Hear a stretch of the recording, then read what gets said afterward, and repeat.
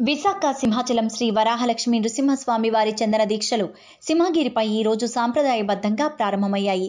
ఆలయ ప్రధాన అర్చకులు అప్పన్న స్వామికి పూజలు నిర్వహించిన చందనమాలలను అందజేశారు నలభై రెండు రోజుల చందన దీక్షల ప్రారంభ కార్యక్రమంలో భాగంగా తెల్లవారుజామున స్వామివారికి నిత్యారాధనలు అనంతరం చందనమాలలను అంతరాలయంలో స్వామి పాదాల చెంత ఉంచి అష్టోత్తర పూజలు నిర్వహించారు.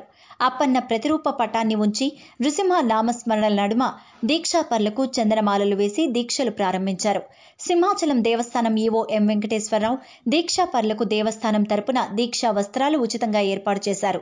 నలభై రెండు రోజుల దీక్షలు చేపట్టిన భక్తులతో పాటు మరో పది రోజుల తర్వాత ముప్పై రెండు రోజుల దీక్షలు చేపట్టే భక్తులు జనవరి పదమూడవ తేదీన దీక్ష విరమణ గావిస్తారు.